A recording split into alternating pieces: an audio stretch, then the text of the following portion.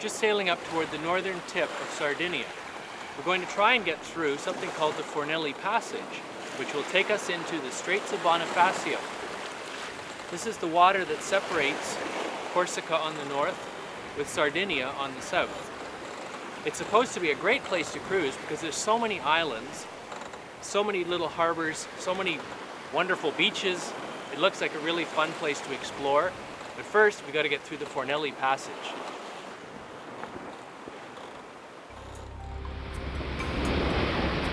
Wanted to break away to see the world. I longed for excitement, the romance of travel. So we built a boat. And now we travel the oceans. Join us as we voyage to distant shores.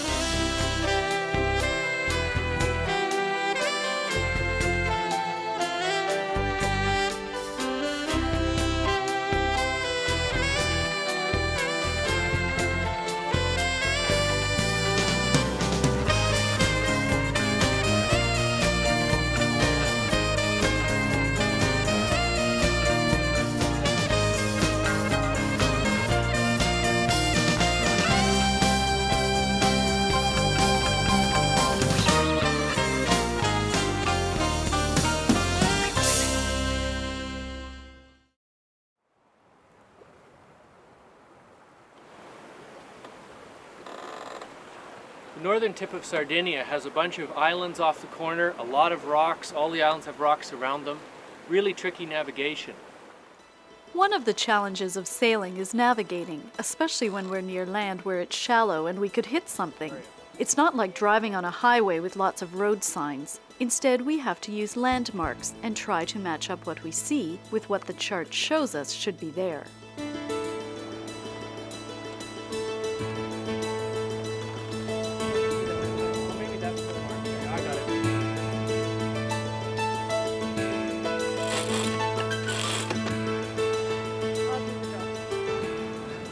Fantastic.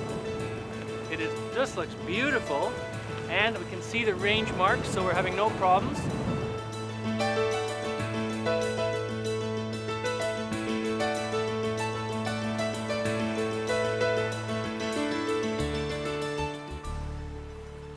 We anchor off the little town of Stintino, and the next morning I have to do a sail repair before we continue further along the coast. When we lowered the sail after coming through the Fornelli Passage, I discovered we'd broken a sail slide, one of many that enable the sail to rise up and down the mast. This task is like sewing on a button, really, but the thread and Dacron sail fabric are a lot heavier, making it hard to push a needle through. So, like all sailors, I use this leather sailing palm to help me get the job done without hurting my hands. It's really just a type of thimble, but on a grander scale. Beside us in the anchorage is the German yacht Karen, friends from an earlier voyage that we've met up with here. It's a great day for a sail, and after Sheryl's quick work replacing the sail slide, we're underway. Uh, it's nice to be sailing with our friends. It's fun to sail in company sometimes. Of course, they always say whenever two sailboats are together, there's a race. Haha, and we're winning.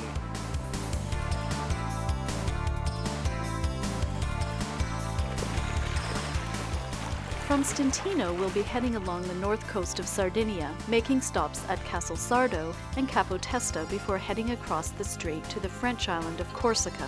From there, we'll continue through the strait and back into Sardinian territory to cruise the islands of the Maddalena archipelago.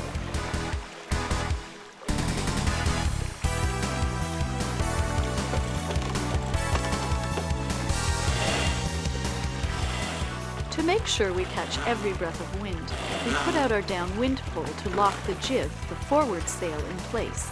We fall back a bit, setting it up, but as the sails fill, two step picks up the pace.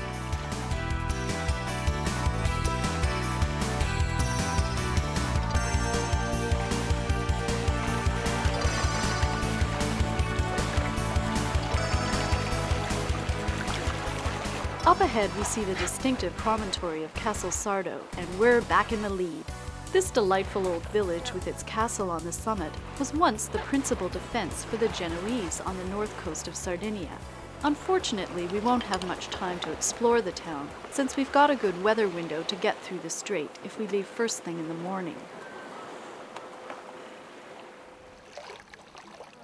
We're the first ones at the dock, with Karen coming in close behind in our very relaxed and friendly cruisers race, so we don't give them too hard a time about our victory. Welcome to Castel Sardo. Out of training That's, uh, still. okay. It's beautiful. It's absolutely gorgeous. Gorgeous it is. We get an early start the next morning with light winds from behind, perfect conditions for getting through the Strait of Bonifacio, where the winds will accelerate. But for most of the day, it will be a relaxing sail along Sardinia's beautiful north coast. Yeah, what a pretty spot. What an incredible view from the marina. It's a great thing about Sardinia. There's just so much history along the coast. We're going to be seeing lots of pretty spots like that, I think. The islands and coves in this area provide excellent shelter for all sizes of boats. For this reason, British Admiral Nelson chose Sardinia and the Maddalena Islands as the base for his fleet while blockading the French in 1804. During his time here, Nelson never set foot on land, a total of 15 months. As he cruised the coast, Nelson sent numerous letters to his superiors in Britain recommending the Maddalena Islands as a naval base. But it wasn't until 1887 that a naval fortress was built here for the Kingdom of Sardinia, and it is now also a base for NATO. By late afternoon, the grey rocky promontory of Capo Testa comes into view, and Paul confirms our position by checking the details on the lighthouse. The solid granite rock of this cape has been sculpted into whimsical shapes by the powerful winds and waves that can funnel through this narrow body of water that we're now approaching. We're just sailing into the Straits of Bonifacio. This is the body of water between Sardinia on the south and the mountains of Corsica on the north. This area where it comes together, it's only six miles wide, and because of that, the wind tends to funnel through this narrow channel. We've been lucky to have had such gentle breezes today. Capo Testa was once an important source of granite for the Romans. Wow, this is one spectacular harbor.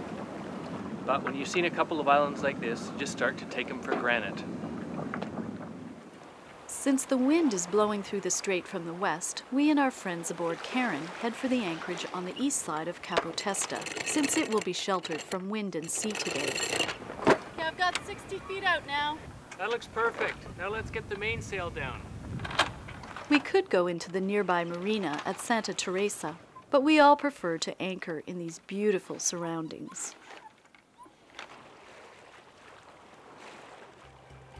The following day, we head out into the strait, setting our course for Corsica on the north shore, where we'll check into French territory at the main port of Bonifacio. Although Bonifacio is only about an hour's sail from Capo Testa, the coastline is completely different soft, chalky cliffs, as opposed to the hard granite we were seeing in Sardinia. Seeing how this coastline erodes, we're surprised to see that the town of Bonifacio is built right out to the edge and suspended over air and water. We don't notice it at first since it blends in so perfectly with the rock it's standing on. But look at the rock falls. Would you live in one of these houses? If you drilled straight down from your basement, you'd be in mid-air. This is the entrance to the incredible harbor of Bonifacio. Some people theorize that Homer was writing about this harbor when he wrote in the Odyssey about Odysseus coming in here and meeting up with the Lestrygonians. He sent three men ashore to talk to the Lestrygonians, but they tore the first one apart and ate him on the spot. The other two ran back to the harbor, and Odysseus was lucky to escape with his ship and his crew. Now that tourism is so popular in this town, I expect we'll get a better welcome. The port of Bonifacio is a remarkable natural harbor. It's a fjord about 100 meters wide that winds inland for about one and a half kilometers. This impressive citadel, which gives Bonifacio such a fairy tale appearance, was built during the Genovese occupation in the 16th century to defend this desirable port in times of siege. Once we've cleared through customs, we show this by lowering our yellow Q flag and raising the national flag of the country we're in, in this case, the French flag. Now, officially, this is all that's required, but in Corsica, it's a bit more complicated. As an island with its own distinct identity, Corsica has its own flag. So, out of courtesy, most sailors fly both the Corsican flag and the national ensign.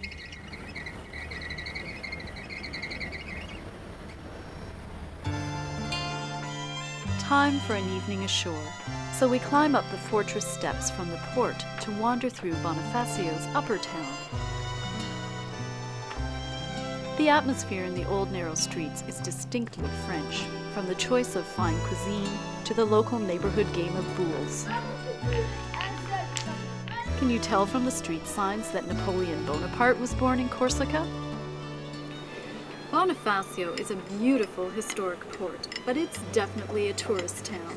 I know there's a lot more to Corsica, but we don't have time on this trip to go further inland. But I know we'll be back. For now, it's fun getting a taste of the French culture on the north side of the strait. We've got a baguette, some French cheese, fine French wine, pâté de foie. Salut! Salut.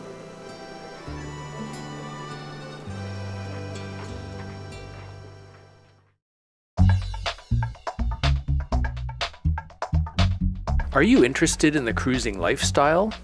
Are you planning to sail away on a cruising adventure? Or researching cruising areas and destinations? Distant Shores is a television series about the cruising life with lots of tips for sailors planning to sail away. This is Oswego, New York. We are entering the Erie Canal system, and this will take us all the way from Lake Ontario to the Hudson River, which gets us to New York City. Plus destination information to help you make your cruising plans. Yeah, I can stand on the bottom. We've been filming Distant Shores for nearly 15 years and know the fun and challenges of the cruising life. We've made Distant Shores with you in mind. We include plenty of cruising tips in this travel series, as well as lifestyle segments and hints for sailors heading to exotic destinations. Encouragement for you and your crew to get out cruising. Destinations include the Intracoastal Waterway, the Bahamas, Caribbean, the Mediterranean, Scandinavia, transatlantic passage making, the French canals, and more.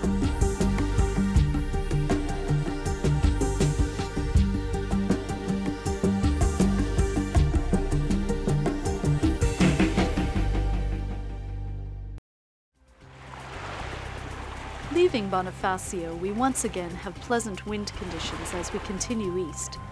But the wind isn't our only concern in this part of the strait. There's a lot of rocks and shoals in this channel, and it has been a graveyard for ships.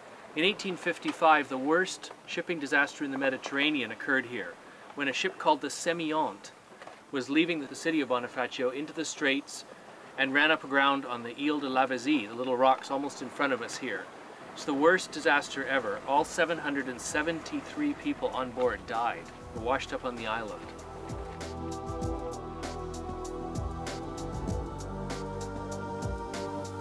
After the storm, the bodies started to wash ashore on this island, which was inhabited only by one shepherd, and uh, he basically sort of collected the bodies, and then they were buried here in this cemetery. They were so badly mangled that they didn't weren't even able to identify them. So most of the stones are unlabeled. Just that one grave of the officer was able to be marked with the right name. The rest of the stones, 773, are all unmarked.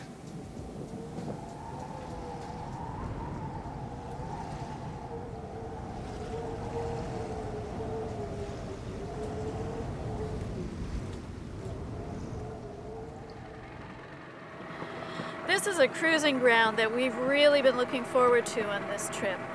We're sailing through the Archipelago de la Maddalena on the northeast coast of Sardinia.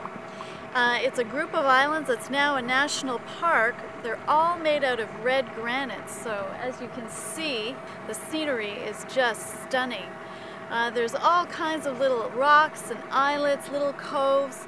Most of the people coming out here today are just coming out for the day, so for those of us that stay at anchor at night, it gets pretty quiet. But during the day, it's lots of fun. Even people that don't have boats can come out on the tour boats for the day and enjoy the beach. It's a fun place to cruise. There's even a flotilla from the local sailing school. What a fun way to learn to sail. Hi. Inglese? No! Lui parla inglese. Can you imagine a more beautiful day camp?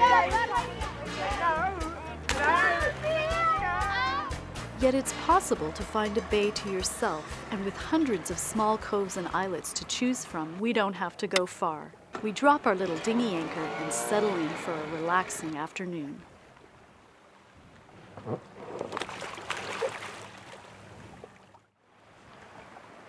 How's the water? Come on in, it's great. I love Sardinia. This is the way to study the local geology. The rocks are all red granite, sculpted by winter winds and storms into these fantastic shapes. And with the golden sands around them, it forms one of those magical and unusual places on the planet that make exploring by boat so worthwhile.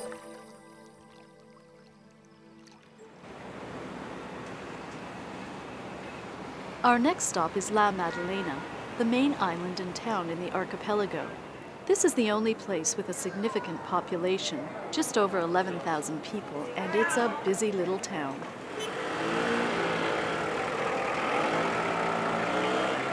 They are keen boaters in this town. La Maddalena is a good base for shopping and banking. It's also a base for the Italian Navy and serves the nearby NATO base as well. Well, after the peacefulness of being at anchor, it was a little bit hairy going through this town with all the traffic and noise. But it's nice to be able to stock up, have lots of provisions, so we can continue to enjoy the cruise through these beautiful islands. But when we get to our next anchorage, the weather turns foul and things aren't so beautiful. Man, it is blowing like stink. We were going to move on today, but there is just way too much wind out there for us. There's even too much wind here in the anchorage. We're worried about the anchor dragging, so what I'm doing is letting out a bit more chain here. We have to be really careful because if not enough chain on the bottom, the anchor could be being pulled up and we could find that the anchor could lift right out. We'd be blown right back on the rocks. Gotta let it out really slow. I'll put out so there's about 35 meters, 40 meters. Whoa, look at that. Man, oh man. When the wind is blowing this hard, the boat jerks at the chain, pulling it up tight. So we put on a snubber, a length of stretchy nylon line as a shock absorber. This will help prevent the anchor from pulling out of the bottom, or in extreme conditions, prevent the chain from breaking. Well, that's done. We've got about 40 meters of chain out altogether. And as our British friends say, it is blowing a hoolie. And it continues to blow.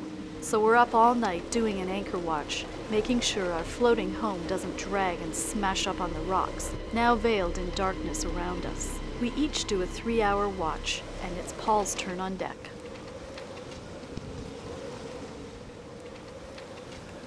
Well, it doesn't look like the wind has dropped at all. In fact, it looks like it's gone up about 10 knots. From today, the forecast said it was supposed to go down this evening. It's really crappy. So, we are doing an anchor watch tonight, it looks like. What we're trying to do is make sure that the boat hasn't moved, that, it's, that the anchor hasn't dragged in the sand. I've done some bearings using the uh, compass and the binoculars here. Done some bearings off of houses and streetlights I can see ashore. Plotted them on here on my little plotting chart and I'm trying to make sure that we're not moving at all. It's going to be a long night.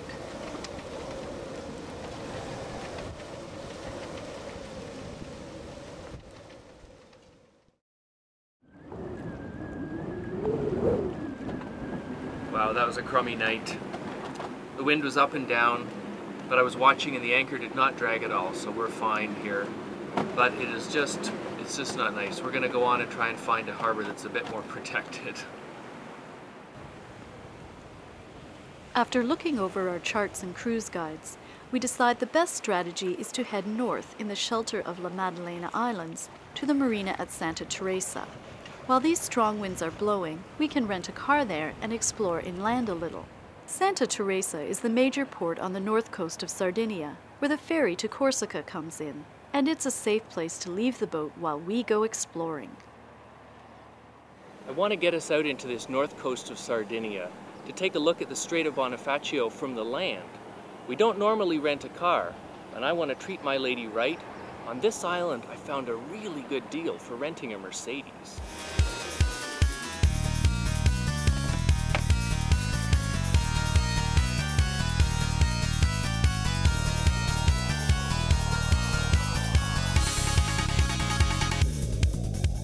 These little two-seater smart cars are all the rage in Europe.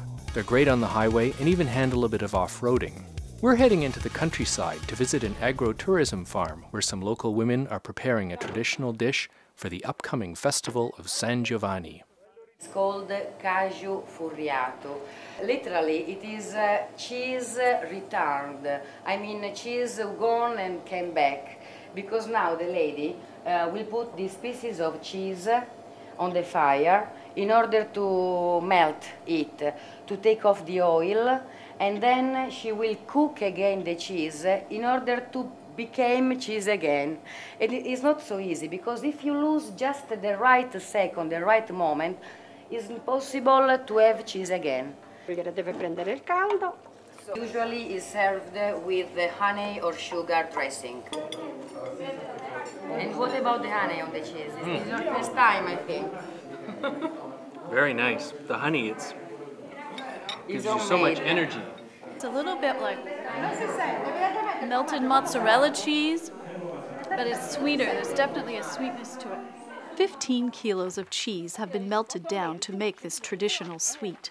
We load the vehicles and follow Panuccia back to town for the festival. St. John the Baptist Day, or in Italian San Giovanni Battista, is a spectacular way to conclude our voyage through the strait. Tell us what's happening here tonight. It's wonderful. Um, you are in Sardinia, you know, Sardinia is a very important tourist resort. But in spite of this, in Sardinia, we protect our traditions. And uh, we have a lot of feasts on the seaside, on the pine woods, and on the squares. In this square that is called Santa Lucia Square, because uh, this one is the church of Santa Lucia, that is the oldest of Santa Teresa. Um, today we have the feast of San Giovanni and the San Giovanni fires, because in the middle of the square uh, you will see um, bonfires and you will see people jumping on them. Jumping over the fires? Jumping over, over the fire, yes, because it's a feast dedicated to San Giovanni Battista, that is the saint patron of uh, uh, rural and pastoral world. And um, as uh, the sunlight is the most important source of life for rural world, patients use in the day of Giovanni Battista to light uh, bonfires and in order to replace the, the sun, the sunlight. So that's uh, what you will see today. Uh, people jumping the, the fire and then other people offering something to drink and something to eat.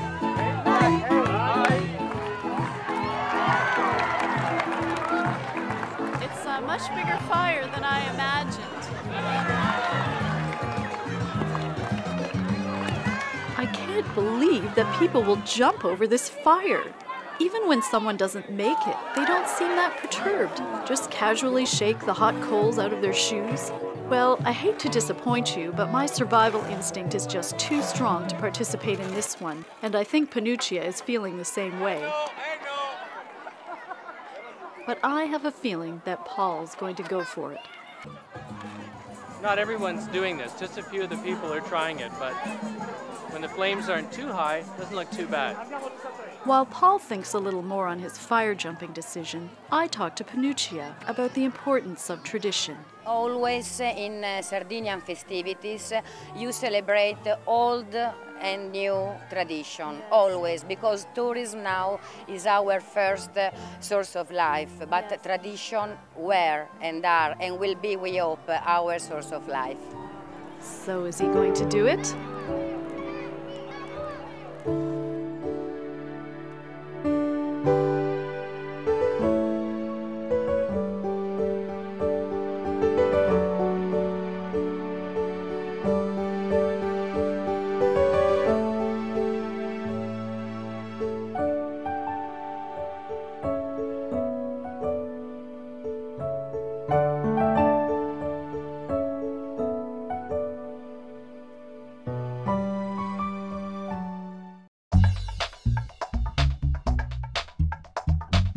Are you interested in the cruising lifestyle?